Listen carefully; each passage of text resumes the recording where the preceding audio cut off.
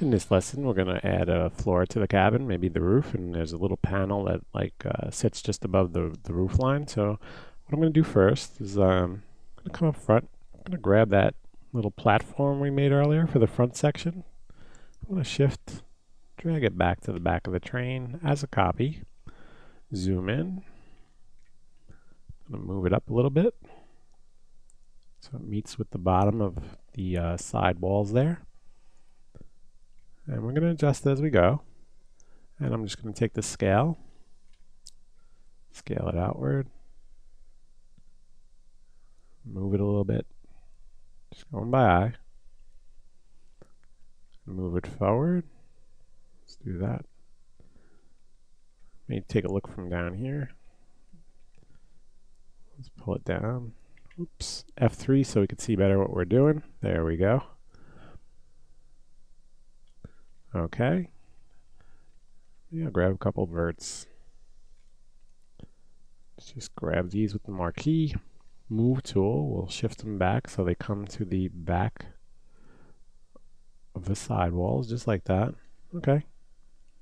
So we repurpose that as opposed to building a new one and it's not looking bad. These verts over here sticking out a little bit. Okay. So there we go. Now we have that there.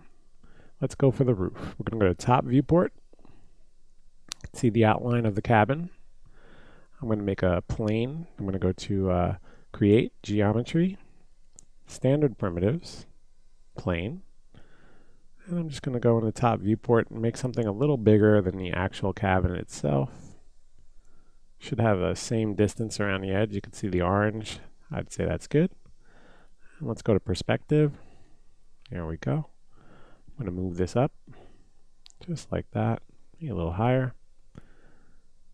And the last thing I'm going to do is control and click on the side walls while the, the roof is still active and selected. And now I'm going to Alt and Q. And now we have everything we want to see on the screen selected.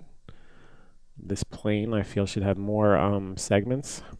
So I'm going to go with uh, 8 that way and leave 4 in the, in the other direction. So uh, right click, convert to editable poly. Choose a bend modifier. Okay, and start turning that angle. Let's see, X is the direction. I'm just going to do this right here. It's close to what we want. A little bit more. There we go. It's good. It's a little small for the size of the cabin now that we did a bend to it, but that's not a big deal. I'm going to just go above, editable poly. So I'm going to go into modifier list, hit E. We're now in the edit section, editable poly, edit poly. Uh, edge, select this row, Alt L for uh, loop selection. Shift and drag that down, and then simply pull it out with your move. There we go. Has a nice little overlap, which I believe it would. Keep the rain off the conductor. Let's do the same on this side. Alt and L, shift and drag, and then just simply move it out like that. Okay, that looks good. And now um, we're going to take this edge and this edge, Alt and L for loop selection. Um, we're going to do a loop selection and we're going to chamfer it. Right click that to zero it out just do this. That looks good to me, so okay. We're going to do that along the front edge as well. We're going to use the same chamfer setting. Just make sure you use a dialog. It looks good. Okay. And now what we're going to do is we're going to come back here. We're going to select a few edges right across like this. I'm leaving that last polygon unselected. And I just want to check my reference really quick for a second. Okay. Okay, yeah, that looks good. Now what I'm going to do is I'm going to shift and drag this set of edges back. Back this way. Just like that. I'm going to do it again. Just like that. That looks good. And now what I'm going to do is I'm going to go to vertex selection. I'm going to select these two and the same two on the opposite side. There we go. And I'm going to uh, Shift and X to turn on edge constraints. There they are. I'm going to scale. I'm going to scale them right here with the X manipulator. There we go. I'm going to deselect the front two, just like that. And I'm going to continue to scale the back two, just a little more, just like that. Okay. So now we have a basic shape for the roof, but we're going to subdivide this. So we have a little more work to do. What I'm going to do now is select some edges.